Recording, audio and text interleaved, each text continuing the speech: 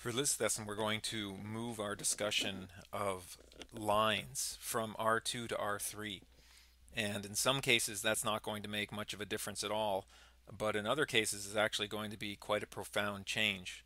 So I would draw your attention, first of all, the first one I have here, which is we had an equation for a line in R2, which is the form that we're most familiar with in all likelihood at this point and that's the slope-intercept form, y equals mx plus b.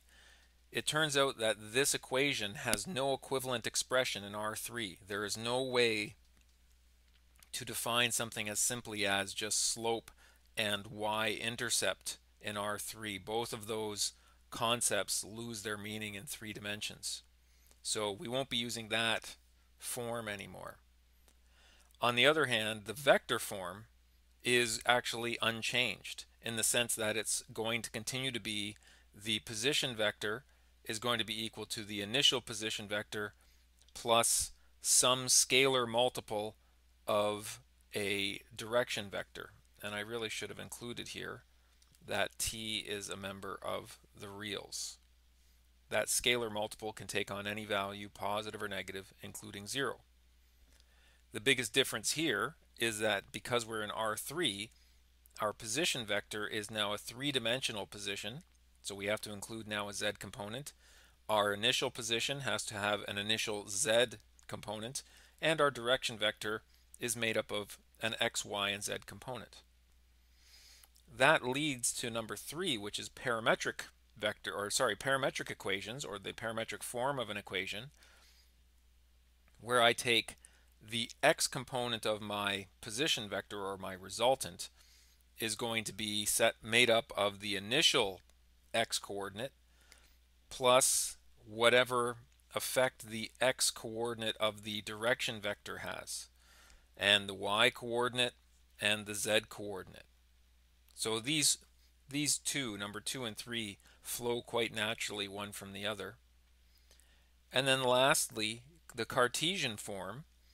It turns out that the Cartesian form actually exists in R3, but and and how I've changed that form, just to remind you, the Cartesian equation of a line in R2 would be written this way.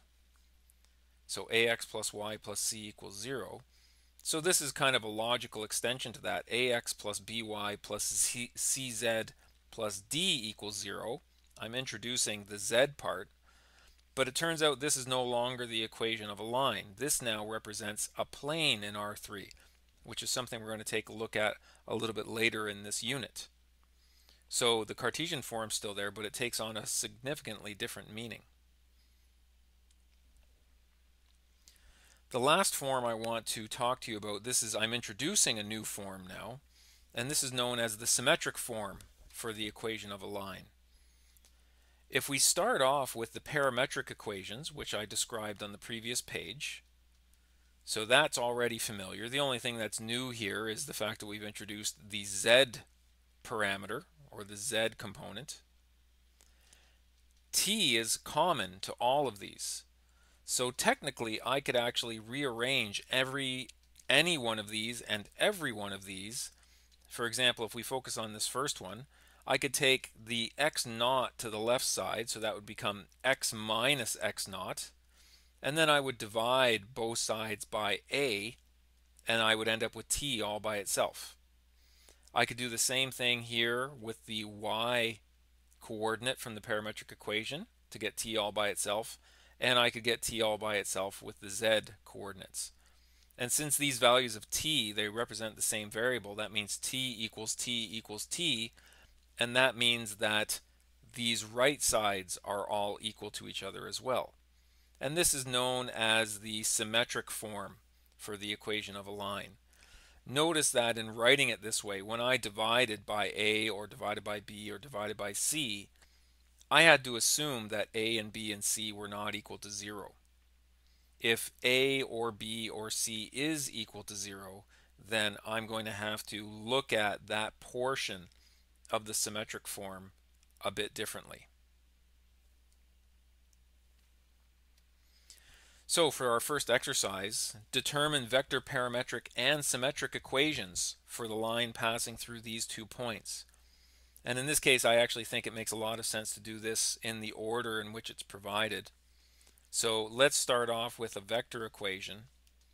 And the basic form of the vector equation, which hasn't changed from R2, is going to look like that. So we need to figure out the position, initial position vector. Well, the initial position vector can be the initial position vector can be the vector that points to either of these given points. So it could be the vector from the origin to the point P, or it could be the vector from the origin to the point Q. And so I'm just going to go ahead and arbitrarily choose OP so that is going to be negative 2, 3, and 5. But it would be equally good if we chose OQ. The other thing we need is we need our direction vector. Now, in R2, when we were talking about the direction vector, we would relate that to the slope. So the slope was delta y over delta x, and then our direction vector was delta x comma delta y. So there was that very strong relationship. In R3, it's going to be a similar idea, and I'm sure many of you can actually see where I'm going to go with this, which is it's going to be our delta x, delta y, and the last thing we're going to add in there is our delta z. So what is our delta x? I'm going to use another, actually, you know what, another way that I want to express this just so you have another option. Um, another way to express this is actually to say the direction vector is going to actually be the vector PQ. So that might be another way for you to look at it. And that's actually more in line with what we've done in the past. And the definition of the vector PQ is OQ minus OP. So whether you think of it this way, delta x, delta y, delta z, or OQ minus OP, that both of those are going to get you to the same answer. And so my vector is going to be delta x or OQ minus OP. That's going to be negative 2 minus negative 2. And then it's going to be 4 minus 3. And then it's going to be negative 1 minus 5. And I just wrote the answer there, 6. It's negative 1 minus 5. Negative 2 minus negative 2 is negative 2 plus 2 is equal to 0. 4 minus 3 is equal to 1. Negative 1 minus 5 is equal to negative 6. And that is my direction vector. So that means now I can actually write my vector form. Let's write it this way. Let's write it as x, y, and z. So my general position vector is going to be made up of my initial position vector plus t times my direction vector. And so there we have our answer in vector form. Now, to go from vector form to, to uh, parametric form is actually quite simple, especially with the way I've written it out here. The x coordinate is equal to the initial x value or x component, which is negative 2, plus t times 0. And so I could write that as 0t, but we don't normally write something multiplied by 0 that way. So in this case, we end up with x equals negative 2.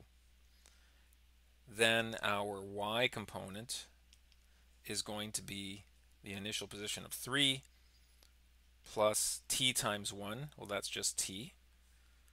Let's extend this page. I'm just going to move this down a little bit more so there's some more separation here from part A. And then my, and actually I think I'll that over. And then my z is going to be an initial position of 5 and that's going to be t times negative 6 which is minus 6t. So there are my parametric equations for this. And now finally for C, I will remind you of the form of symmetric equations because this is the part that's really quite new and it's not completely intuitive.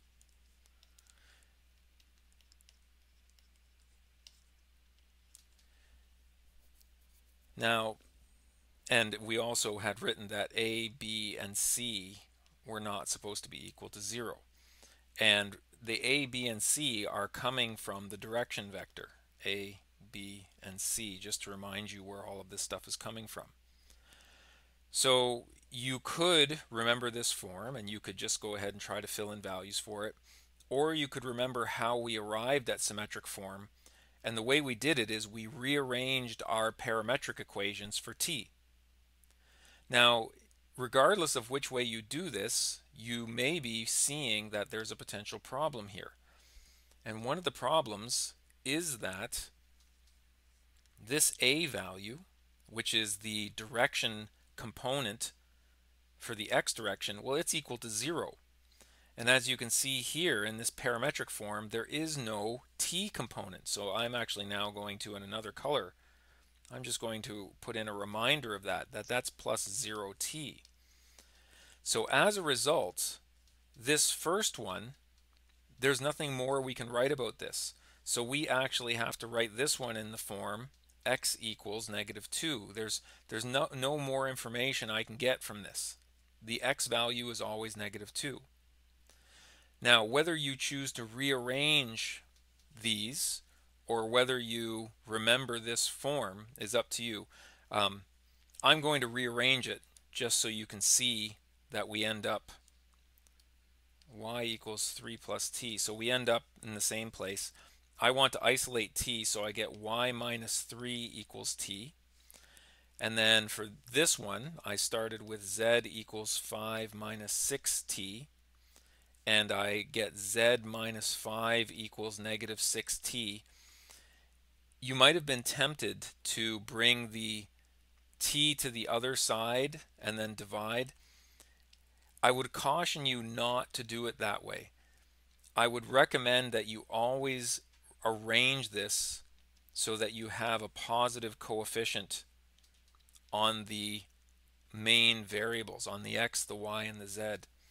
And so in that case, when I divide here, I'm actually going to end up with z minus 5 over negative 6.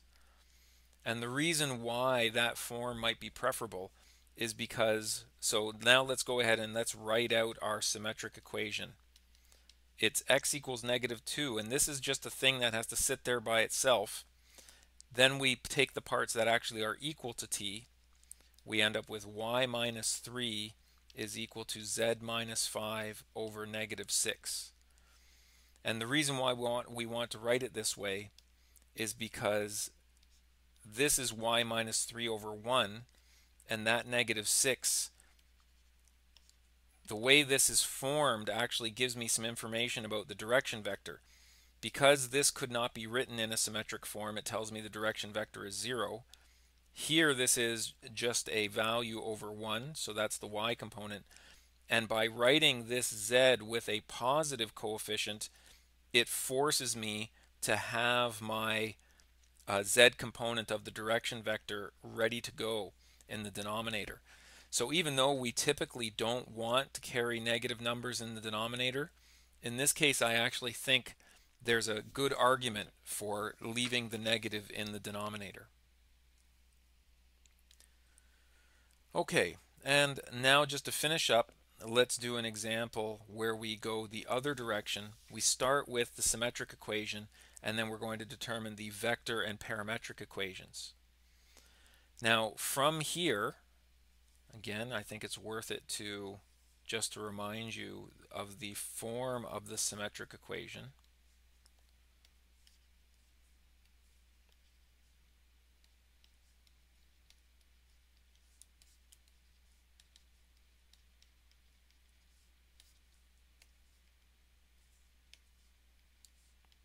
So in this form, the ABC is my direction vector, and I've got x minus x naught. x naught is my initial position vector. So from here I can tell that my direction vector, because I don't have any complications here with any of these being zero, my direction vector is 5, 3, and 7. And my initial position vector, you have to keep in mind this minus. This is x minus x naught. So my initial position vector, this is x minus what? This is x minus 3. This one is actually y minus negative 2. That's how we ended up with a positive here. So this is actually negative 2, and this is z minus negative 5.